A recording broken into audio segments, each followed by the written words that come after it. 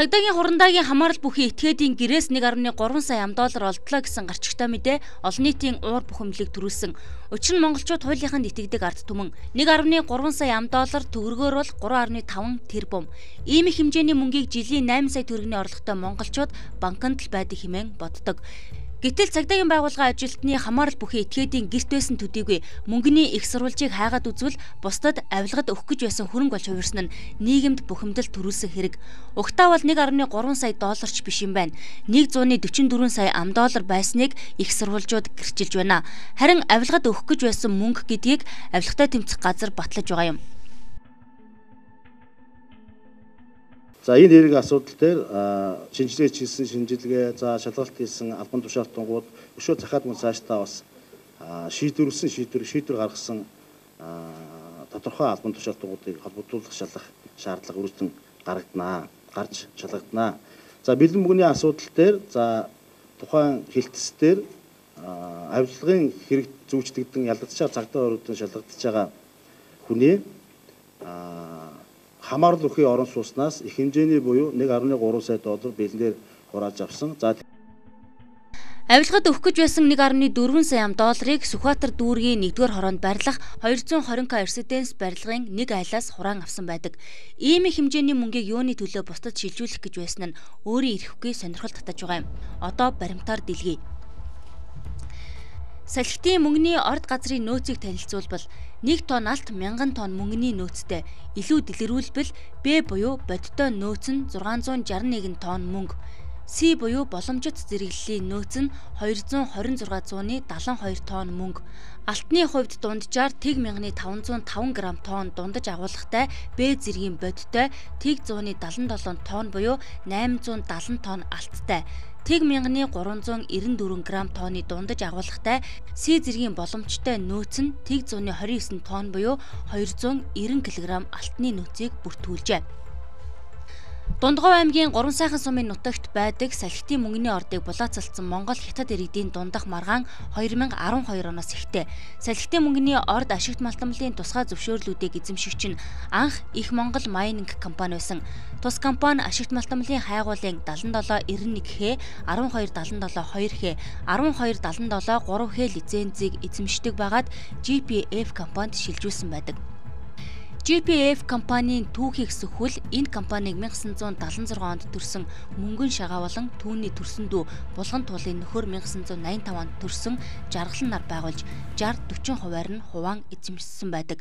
Ингэхдээ мөнгөн шагаа 60%ийг нь жаргалан 40%ийг нь эзэмшиж жаргалан компани гүйцэтгэх захирлаар томилжээ. Тухайн үед компани 1 сая төгрөгийн дөрмийн сантай ингээд компани байгуулад 3 хоногийн дараа Их Монгол майнинг компаниас салхитын мөнгө алтны орд газрын ашигт малтамлын хайгуулын 7991Х 1277 2Х 1277 3Х лицензийг худалдан авч хятад эзэнтэй CCMX компанид заржээ.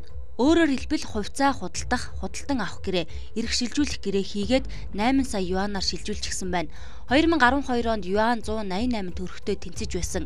Ингээд бодвол тухайн үеийн ханшаар 1.5 тэрбум төгрөгөөр мөнгөн шагаа жаргалнаар хувьцаагаа худалдан борлуулсан гэсэн үг. GPF компани 40%-ийг эзэмшиж байсан жаргалан тухайн үед бүгд найрамд тагтад ард улсын иргэн Чэм банквад хувьцаагаа зарахтаа 800 мянган ам доллараар зархаар тохирсон. Ингээд тухайн үед Чэм банква жаргаланд хувьцааг нь шилжүүлэн авахар болж сонлоо гэх хятад иргэний нэрээр шилжүүлээ гэсэн боловч хэд хоногийн дараа жаргалан дээр дахиад ирсэн байгаа юм. Харин тухайн үед ирсэн гол зорилго нь хувьцааг хувь хүний нэрээр шилжүүлэх биш заавал компани нэр байх ёстой хэмээгээд CCMX компаниг байгуулсан түүхтэй. Ингээд 2012 оны 8 дугаар сарын 8-ны өдөр Чэм Банква жаргаланд 800 мянган Америк долларыг бэлнээр өгсөн баримт нь энд байна.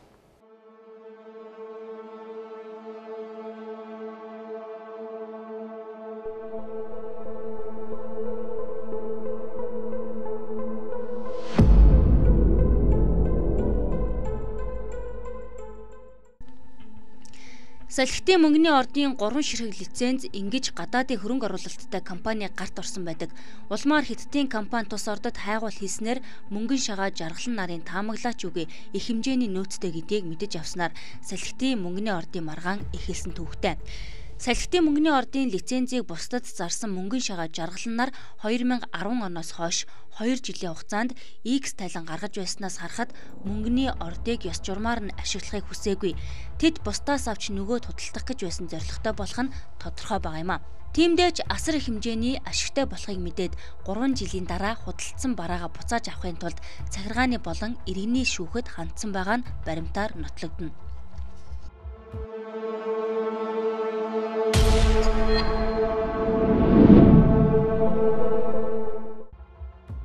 3 сайхан суманд GPF компани зүгээс санив тусламжийг хангалттай өгч хамтран ажилладаг байсан тухай орон нутгийн үе үе удирдлагууд ярьдаг байна.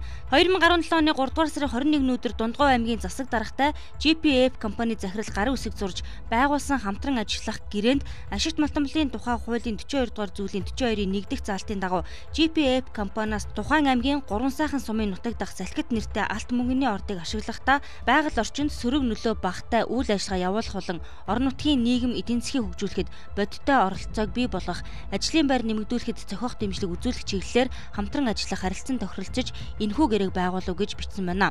Мөн олборлсон хүдрийг тээвэрлэхдээ аймагаас баталсан ашигт малтмал тээвэрлэх замын маршрутын дагуу тээвэрлэх, цаашид хүдрийг хатуу хүчилттэй авто замаар тээвэрлэхээр тооцож зураг төсвийг хийлгэх бусад ашигт малтмал олборлогч компаниудтай хөрөнгө нийлүүлж зам барих асуудлыг шийдэх, олборлсон хүдрийн тээвэрлэлтийн шаардлага хангасан орон нутгийн тээврийн үйл ажиллагаа эрхэлдэг иргэд аж ахуйн нэгжтэй гэрээлэн гүйцэтгэх, уурхайн үйл ажиллагаатай холбоотой альва ханган нийлүүлэлт буюу мах сүү цагаан эдийн ажлын хувцас багаж хэрэгсэл харуул хамгаалалт гих зэргийг орон нутгийн малчин үйлдвэрлэгч аж ахуйн нэгжүүдээс авч байх тухай дээрх гэрээнд заажээ. Ер нь бол иймэрхүү маягаар уурхайн үйл ажиллагааг өргөтгөж өнгөрсөн хугацаанд баяжуулах үйлдвэр зэрэг томоохон хөрөнгө оруулалтыг хийсэн хэдий ч GPF компаниг CCMX компанид зарсан мөнгөн шагаа хувьцаагаа буцаан авахар шүүхээр заргалдаж байгаа нь энэ юм. За дээр дурдсанчлан салхитын мөнгөний ордын уурхайн үйл ажиллагаа хэвэн үргэлжилж байх үед GPF компани 60% хувьцааг эзэмшиж байсан мөнгөн шагаа GPF компанийнхаа хувьцааг буцаан авахар нийслэлдэх захиргааны эргийн анхан шатны шүүхэд 2015 оны 5 дугаар сарын 6-ны өдөр хандсан байдаг. Өөрөөр хэлэх юм бол бусдад зарсан бараагаа буцаан авахын тулд нийслэлийн захиргааны эргийн шүүхэд хандсан байна. Монголчууд эр хүн хэлсэндээ эмээлт мөр хараасандаа гэдэг мөнгөн шагаа жаргалан нарын хувьд салхитын мөнгөний орд газрын тусгай зөвшөөрлүүдэд бусдад худалсныхаа дараа амаа барьсан үйлдэл гаргасан нь нийслэлдэх захиргааны иргэн анхан шатны шүүхэд 2015 оны 7 дугаар сарын 2-ны өдөр гаргасан гомдлоос харж байна. Мөнгөн шагаа GPF компани хувьцааны шилжилт хийсэн бүртгэлийг хүчингү болгуулахар хандсан байдаг. Нэг үгээр бусдад зарсан бараагаа буцааж авахыг оролдохдоо хуулийнх нэг дайчилсан байхыг үгүйсгэхгүй. Ингэж хэлдгийн учир нь нэвтрүүлгийн эхэнд гардаг 144 сая ам долларыг хуулийнхныг хахуулдах гэж бэлдсэн үү мөн энэ хэрэгт цагдаа шүүх шинжилгээний үндэсний хүрээлэнгийн шинжээч эмч нараас гадна хил гайлынханч орооцолцсон байхыг үгүйсгэхгүй. Зарсан бараагаа буцааж авахыг оролдож байгаа Шарвын мөнгөн шагаа гэж хүмбэ. 1976 оны 8 дугаар сарын 21-ний өдөр төрсөн энэ жилийн баяр наадамд түүний залуу зээрд их насны морь төрүү магна болсон гэдгээр нь монголчууд андахгүй. Төв аймгийн Баян сумын Агт Эрдэнэ галд багтдаг. Сүүлийн 3 жилийн хугацаанд захиргааны болон иргэний хэрэгээр хөөцөлдөж байгаа. Сүүлдээ энэ хэрэг эрүүгийн хэрэг үүсгэн шалгаж эхэлсэн байдаг.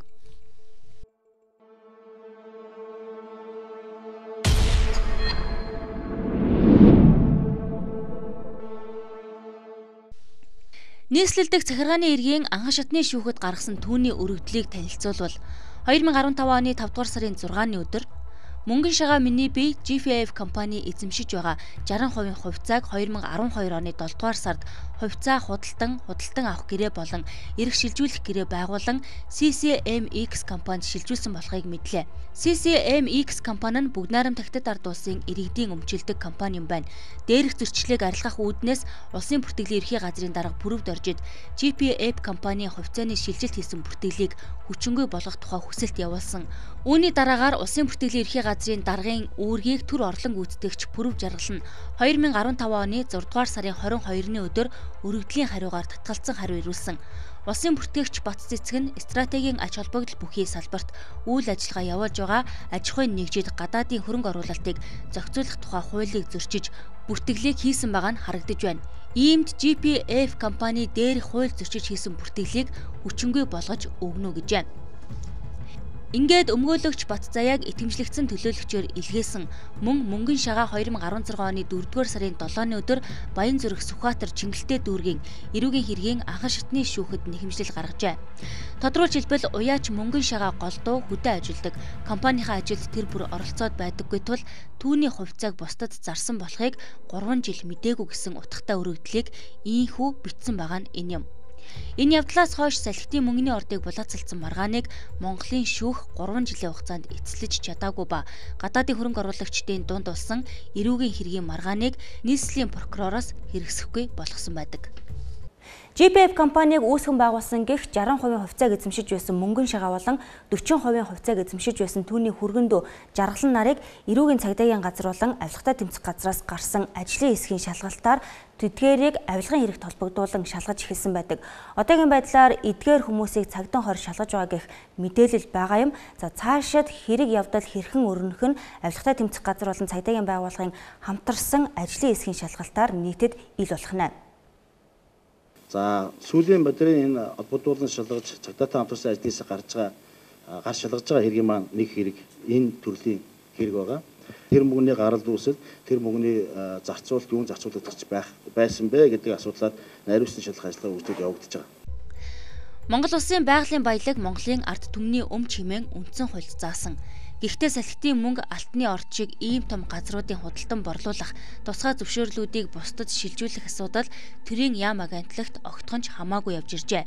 Мөнгөн шагаа жаргалан нар хиттийн Чем банквад 3 лицензээ зарсан. Харин Чем банква цаашаа хинт зарах нь Монголын төрд падлээгүй гэсэн үг. Өөрөөр хэлбэл ашигт малтмал газрын тосны газарт орд газруудын ашиглалтын болон хайгуулын тусгай зөвшөөрлүүдийг хэн хэрхэн худалдаалах үйл явцад оролцдоггүй байна. Ийм янзаар орд газруудын хувь заяа шийдэгдэж иржээ. Үүний нэг жишээ бол салхитын мөнгөний орд юм. Манай хэвлэл мэдээлэл ажилтнараа дамжиж нар мэдээлэл өгөхгүй шүү дээ. Мэдээлэл өгөхгүй шүү дээ.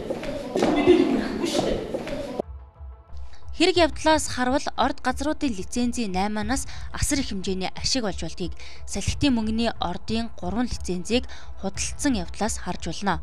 Хайгуул хийхгүй ашиглахгүй байсан ч хэмжээлшгүй их ашиг орлогыг эзэдтэй өгсөн байгаа юм. Мөнгөн шагаа жаргалнаар их Монгол майнинг компаниас авсан лицензээ гадаадын иргэдэд 1.5 орчим тэрбум төгрөгөөр зарсан. Энэ бол орд газрыг ашиглахгүй байсан ч их хэмжээний ашиг хүртэж болдгийг харуулж байна.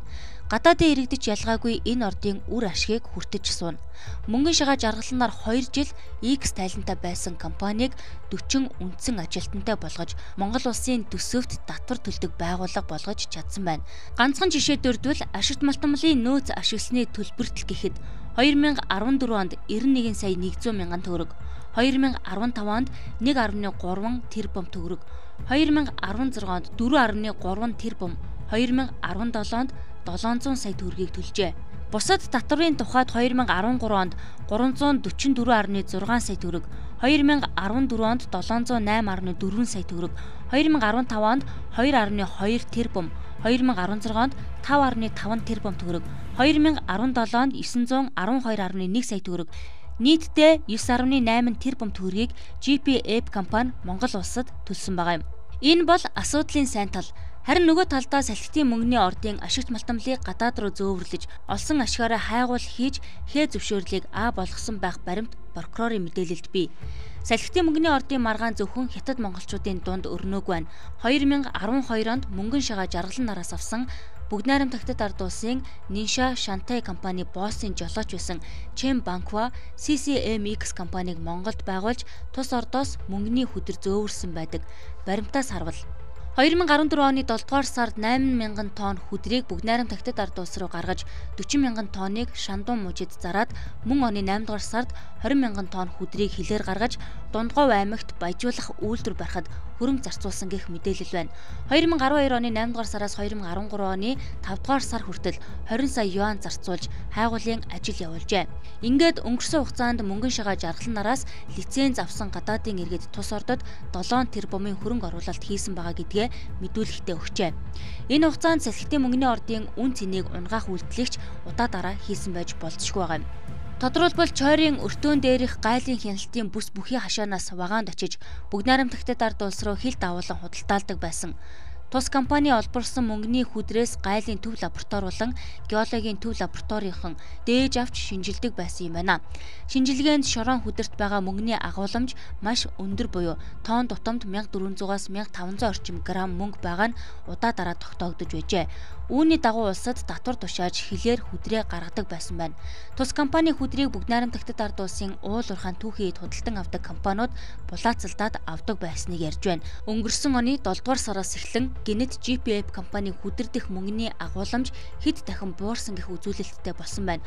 Өмнө нь шорон хүдрийн агуулмжийн тоон тутамдаа 1400 граммаас дээш агуулмжтай гардаг байсан бол гинэт 428 болтлоо буурчээ. Энэ бол салхитын мөнгөний ордын үн цэнийг унгаах үйлдэлээс гадна тус ордын маргаан Хятад Монгол гэлтгүй хятадууд дотроо маргалдаж эхэлсэнтэй холбоотой юм байна. Өөр нэг баримтаас харвал бүгд найрамдагтад ард усад 250 ам доллароос буудаггүй байсан салхит уурхаан хүдрийн үн 54 ам доллар болж буурсан байгаа юм а. Харин өнөөдөр салхитын мөнгө алтны орд газрын нөхцөл байдал ямар байна вэ? Салхитын мөнгөний орд газар 2017 оноос өмнөх 3 жилийн хугацаанд үйл ажиллагаагаа идэвхтэй явуулж байсан. За тэгвэл 2017 оноос хойш үйл ажиллагаа бол ерөнхийдөө зогсон байдалд орсон гэж хэлж болно. За энэ нь бол дотоодын маргаантай холбоотой юм. За бид энд салхитын мөнгөний ордын одоогийн нөхцөл байдал ямар байгаа тухай ашигт математик газрын засгийн газраас тайлбар авахар ирсэн боловч за яг энэ хэсгийг хариуцсан уул уурхай технологийн газрын дарга хангаа ээлжийн амралттай байгаа. За түүнийг орлогч дарга нь бямб давг гихч тайлбар өгнө гэсэн боловч за бямб давг нь бол албаны даргын зөвшөөрөлгүйгээр хариу тайлбар мэдээлэл өгөх боломжгүй гэдэг зүйлийг ярьлаа. За бид Ашт Малтамбал газрын сны газрын яг шат салхитын мөнгөний ордыг хариуцсан орлогч дарга, салбар хариуцсан орлогч дарга инх жаргалаас мөн адил тайлбар авахар ирсэн боловч за тэрээр бол албан өрөөндөө байсангүй.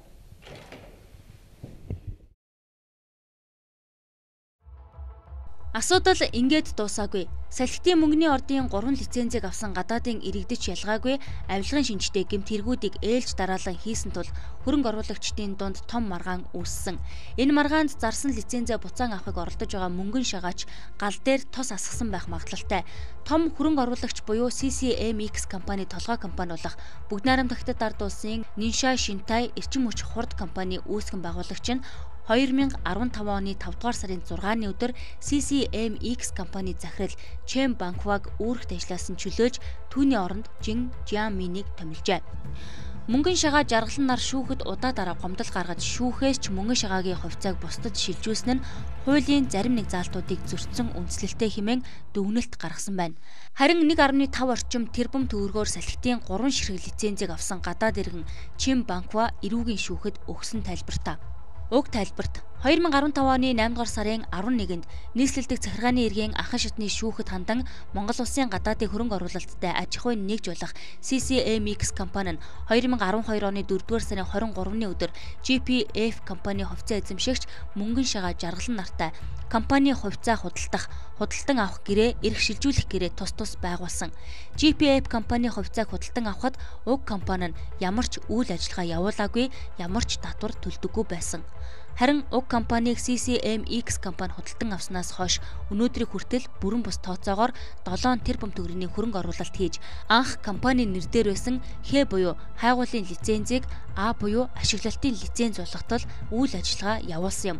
Мөн GPF компани нь 40 гаруй үндсэн ажилтнтай уурхай дээр өөрийн болон туслан гүйцэтгэгч компани 100 орчим хүн ажиллаж байна. Монгол улсад татвар нийгмийн даатгал төлөгч компани болтлоо өргөжсөн байна. Гэтэл иргэн мөнгөн шагаа нь GPF компани хувьцааг огт шилжүүлээгүй мэдэн будилж улсын бүртгэлийг хүчингү болгуулахаар шүүхэд нэхэмжил гаргасан нь бидний оруулсан их хэмжээний хөрөнгийг дээрэмдэх гэсэн явааргүй бөгөөд ичгүүргүй арга юм. Компанийн эрх шилжүүлэх үед CCMX компани хуульд заасан бүх баримт бичгийг хууль ёсны дагуу бүрдүүлэн өгсөн учраас өнөөдөр улсын бүртгэлийг хүчингү болгох үндслэлгүй гэж үзэж байгаа юм а. Тиймээс нэхэмжлэлийг хэрэгсэхгүй болгож өгнө хэмээн бичжээ. Салхитын мөнгө алтны орд бол Монголд нэн ховортой тооцогддог. Алт мөнгөний хосолмол дээр нь их хэмжээний нөөцтэй энэ ордыг булаацалцсан маргаан өнөөдөр ч үргэлжилж асуудалд хууль хяналтынхан холбогдож эхэлжээ. Нэвтрүүлгийн эхэнд дурдсан 144 сая ам долларыг хятадуудаас Монголын зуучлагч хоёр иргэн авсан тухай мэдээллийг авилгатай тэмцэх газраас өгсөн байдаг. Харин энэ их хэмжээний мөнгийг хэнд дамжуулах гэж байсан болон мөнгөний их үүсвэрийг судлаж байгаа гэх. Авилгатай тэмцэх газрынхан ч анх удаа ийм хэмжээний бэлэн мөнгийг хэргийн газраас хураан авсан байдаг байна. Цаашид хэрэгэх нь хуулийнхны хуулийн хүрээнд шийдэх асуудал мэт боловч их сурвалжийн мэдээлж байгаагаар 144 сая ам долларыг эздэд нь буцааж өгч магадгүй нөхцөл байдал хэдийн үүсжээ. Харин дээр дурдсан захиргааны хэргийн маргаанд зарсан бараагаа буцаахыг хүссэн мөнгөн шагаа хувьцаагаа бусдад шилжүүлэхдээ гарын үсэг зураагүй хэмээн гүрээсээр байна. Түүний гарын үсгийг шүүхийн шинжилгээнийхэн болон бусад холбогдох байгууллага байгаахан жинхэнэ үү хуурамч уу гэдгийг тогтоосон байдаг. Асуудал цааш салхитын мөнгөний орд газрын хувьцааг шилжүүлэхэд нотариатчин саран цэцгийн гүйцэтгэсэн үүрэг болон хууль хяналтын байгууллагын ажилтан албан тушаалтнууд энэ хэрэгт хэрхэн хутгалдаж эхэлсэн баримтуудыг дэлгэнэ.